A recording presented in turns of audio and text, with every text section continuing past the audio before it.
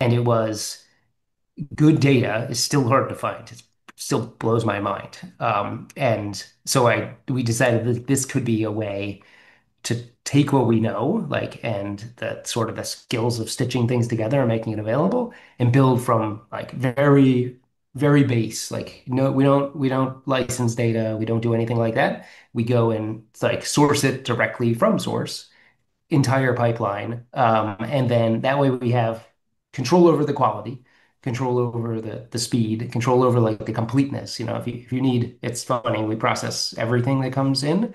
And um, I every day I'm kind of amused by some like uh, a, company filing like a 10Q or or 10K that is from a company that I don't have any idea who the company is, but like they're getting processed live. And some I just saw one yesterday that had $21 in assets, like total assets, which is like it's bonkers because I mean obviously I don't know what they possibly do, but but it's also like the completeness that we were aiming for is what we what we're doing basically. Everything and we're you, we're US focused now because that's we're trying to prove out the pipeline, prove out the kind of the business that we can manage everything.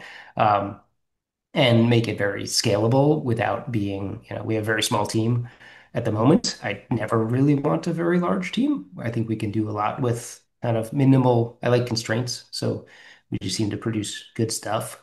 Um, but yeah, that's kind of like the, in a nutshell, why we're doing what we're doing and really why, like how we got here, but also why it should even exist. I, still just don't understand why it doesn't. It's, yeah, it's dated back to Christina as uh, like a